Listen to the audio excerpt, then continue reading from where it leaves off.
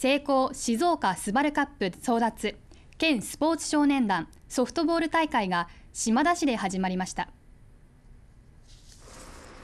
53回目となるこの大会には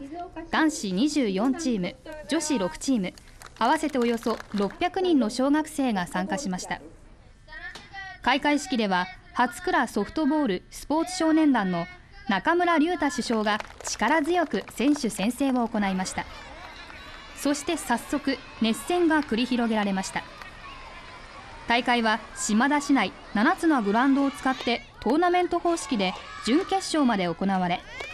23日に伊豆市の天城ドームで男女それぞれの決勝戦が行われます。